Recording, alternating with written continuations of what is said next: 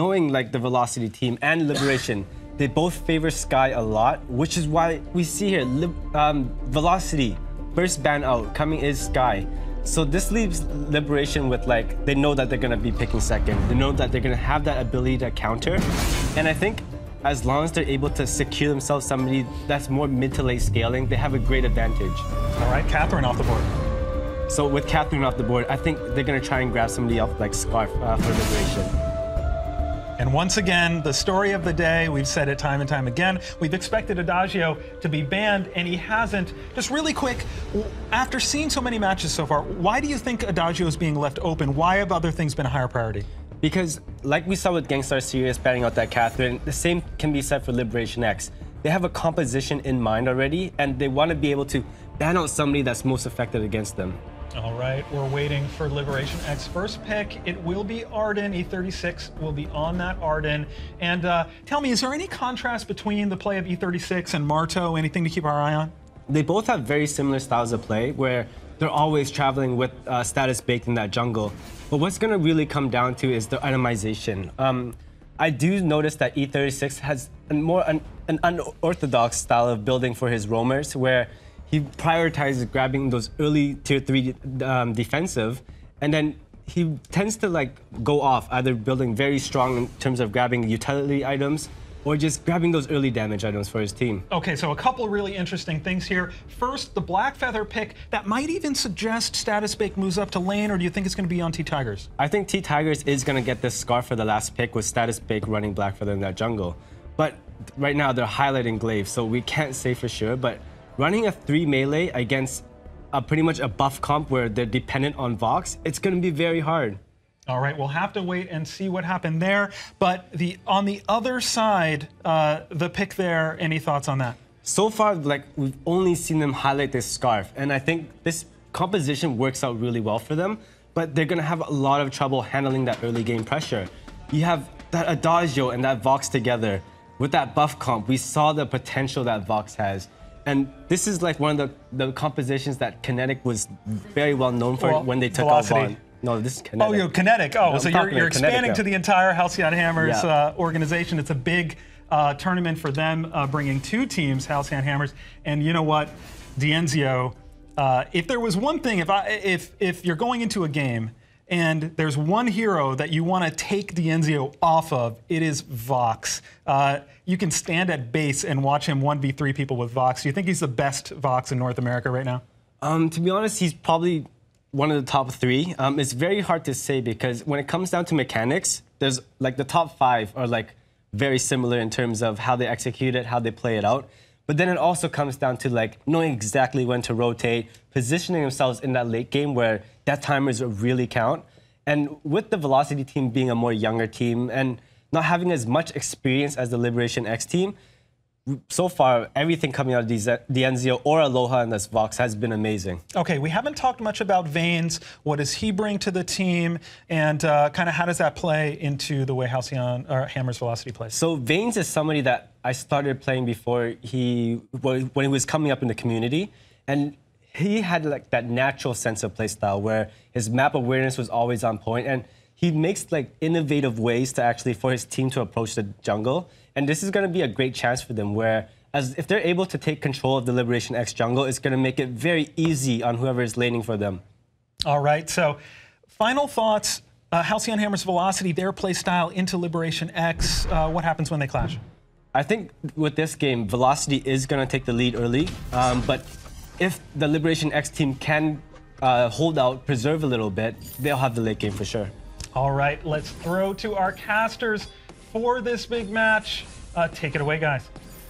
All right, thank you very much, Playoff Beard and Rome. I'm excited to get into this game between Liberec- Liberation X, who of course were formerly, uh, you know, the champions from Autumn, and Halcyon Hammer's Velocity. My name's Action Jackson. I got Vedius next to me. We're gonna be hopping in the game. Yes, we are, ladies and gentlemen. We have come across the pond to cast a bit of North American vainglory. We're certainly excited to see, and already we can see a bit of action kicking off in the early game.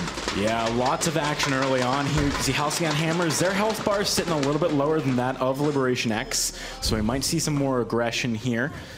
At the moment, they're just backing away, taking their camps and playing safe. All right, so Uh, just to give a bit of a recap of the compositions, we're seeing for the side of Velocity, we've got the Vox, Fortress, and the Adagio. So going to be playing very much around this Vox, heading towards that mid to late game, whereas Liberation X, they did actually pick up the Reim. So I'm quite excited to see how this is going to work in this composition as T-Tigers, he actually takes a bit of harassment up in the lane. Yeah, but I think he's going to be all right, at least for now. You can see E36 is hovering around here. He's going to be able to help T-Tigers out if he ever wants to go aggressive. On the flip side, we've got Aloha sticking with his jungler Vains at the moment. And uh, they do have maybe the potential to go for a fight here. Status Baked is going to scare them off a little bit with the Winter Spire. But they're going to go for the fight here. It looks like Aloha is taking a lot of damage, but their turnaround on the Status Baked is huge. Vains and Aloha are going to find that one. First Blood going the way of Velocity. Right now, they're going for even more here. DNZio, he's run down from the lane. It's a quick two kills going the way of Velocity. Great kiting coming out from Aloha. You could see Status Bake doing his best to try and close the gap. And when you have that support from the Un, you it, you know, you'd expect to be able to do it, but he wasn't quite able to pull it off. Status Bake needs to be careful now, though. Oh, he really does, and this could be a bad spot for him. He's going to try and use his boots to speed away Vanguard just in time as well. Vains, he wants to go for that steal, and I believe he found it there, so very nice work by Halcyon Hammer's Velocity in this early game. They're putting on a lot of pressure. T-Tiger's actually struggling. Oh, there's a kill on the other side as well. Vains finds himself another one along with Aloha. You can see Aloha wants more on the E36, can't quite close that distance.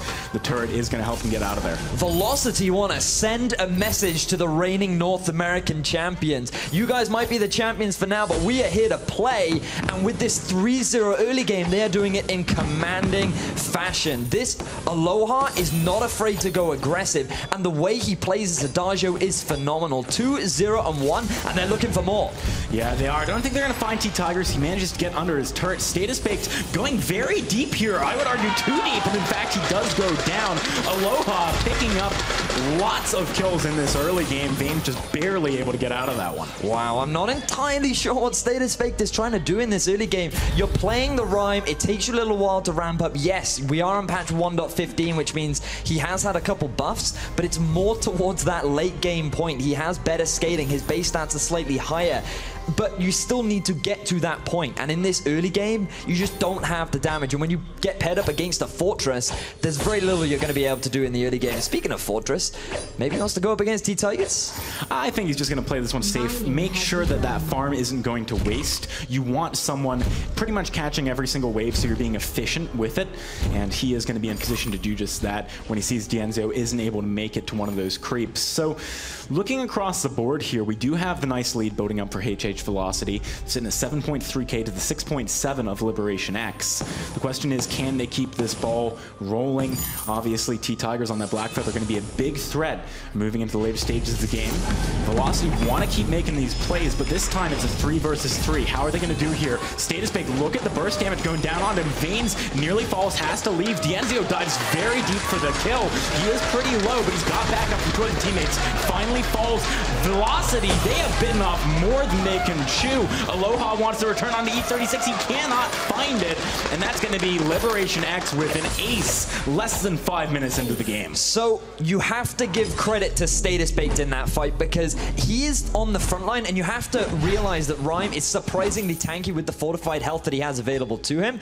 And what he did is tank the majority of the damage coming out from Velocity, retreat, and force DNZio to follow him right into the arms of T-Tigers. And that just allowed him to get all those Heartbreak stacks up, and then he was just doing so much damage on the backline. Really nice play from Status Bait to just bait the main damage dealers from Velocity straight into Liberation X and turn around the team fight.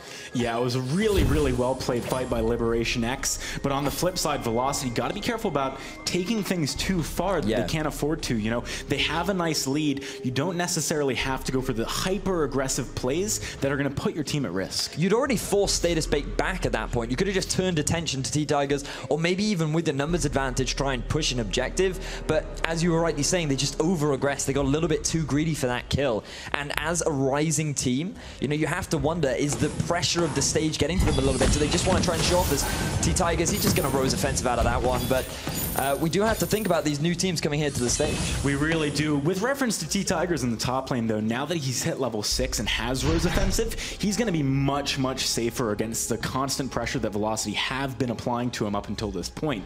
He can have two charges of that, which means very frequently he's going to be able to get away from ganks.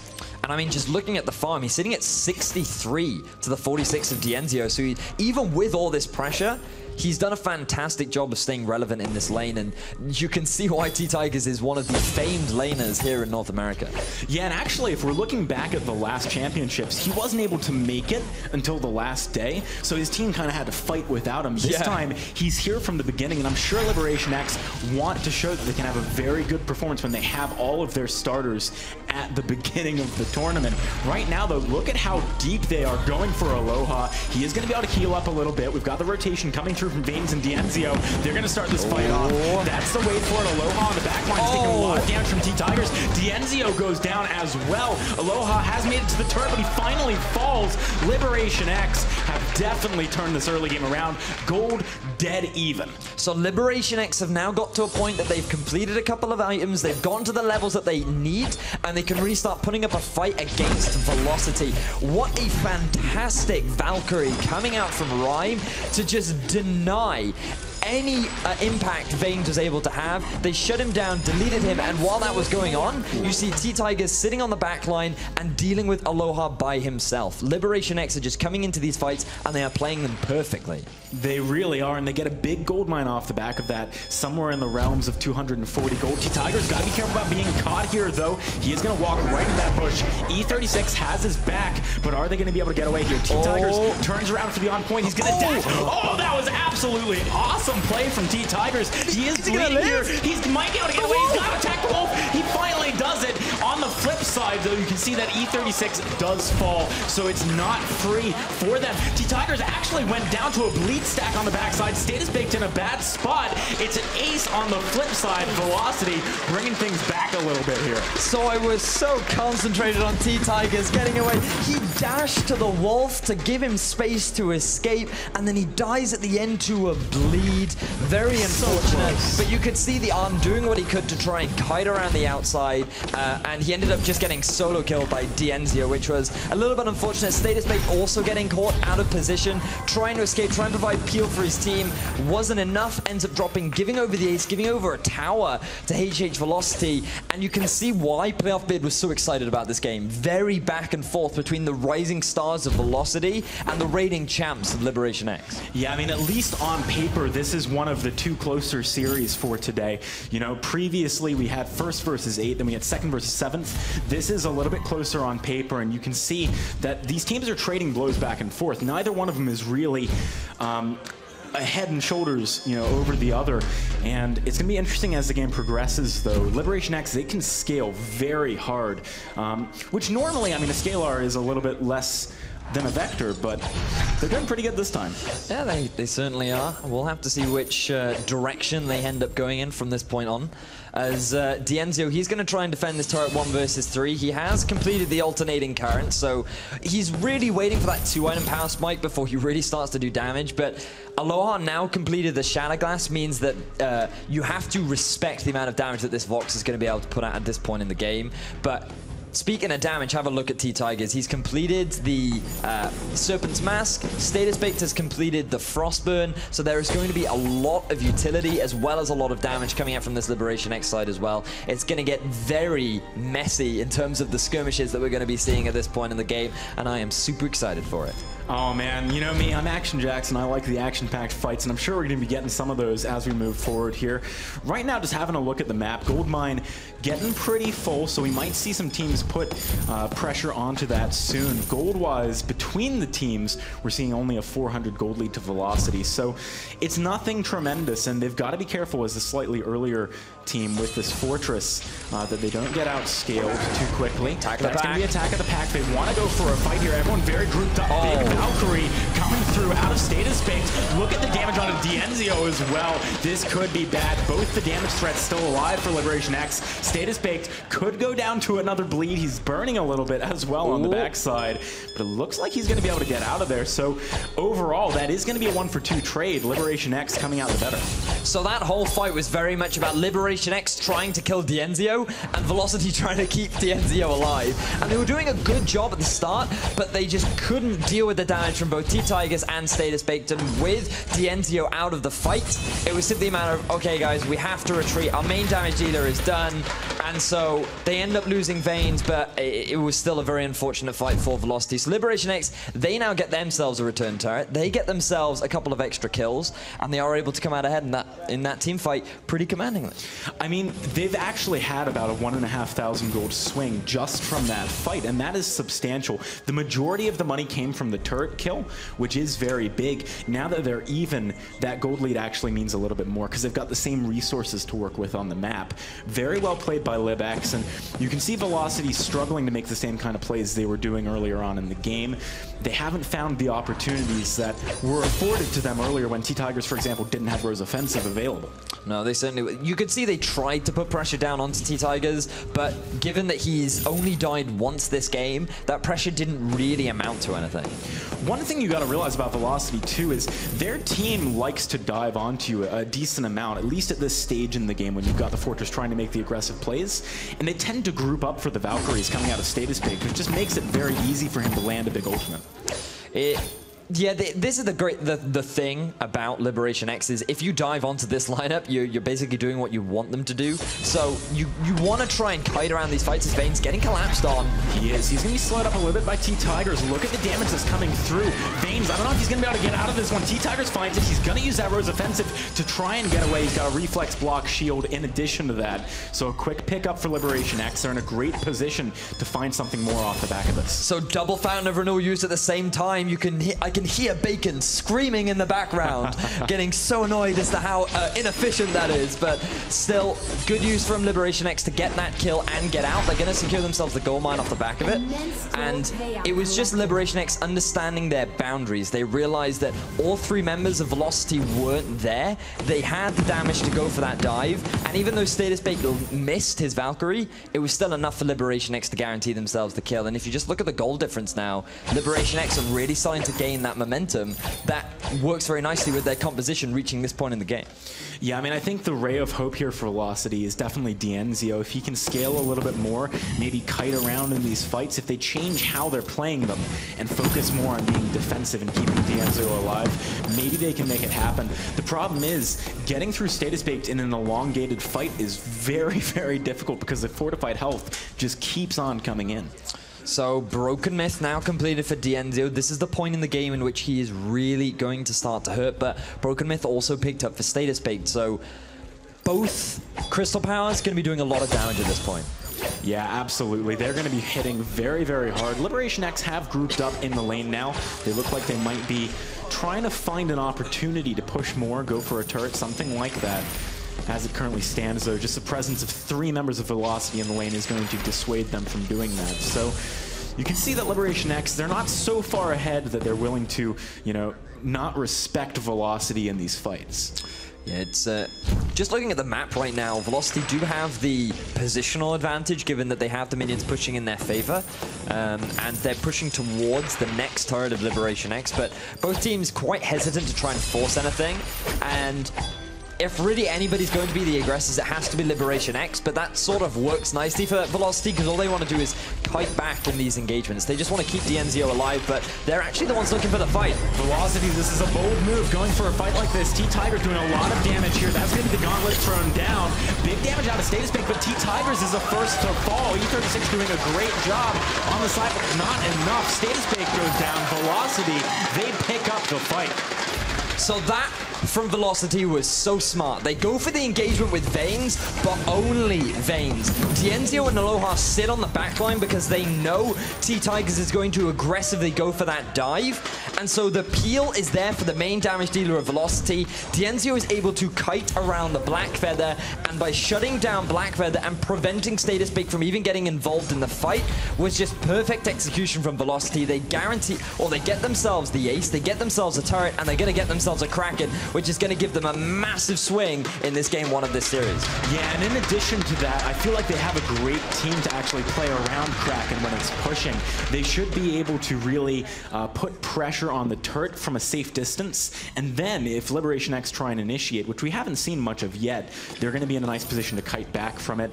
That was a well-played fight from Velocity. They need to keep doing more of the same. Liberation X, they're not even venturing out of their base. They know they need to deal with this Kraken push as soon as possible. Yeah, they do have relatively good wave clear. It's, you know, obviously it's not the strongest, but it, it should be enough to at least deal with the minions sitting on the base, but I don't know how quickly they're going to be able to take the Kraken. Let's see how Velocity decide to play around this. It's all going to be about status bait, just spamming those Winter Spires, trying to kill the Kraken as quickly as possible. T-Tigers is doing a decent amount of damage to the is, backline, yeah. just sort of ambiently.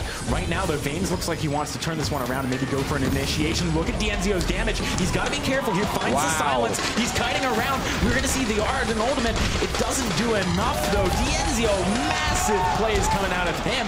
Velocity, this could be a game-ending push against the former champions, Liberation It certainly could be. I think that they are going to be able to do it. They've gotten themselves the ace. They have the Kraken. This is going to be game one, going over to HH Velocity. And what a way to do it. Very back and forth in the early game, but when they finally get the team fight that they needed, they propel to victory.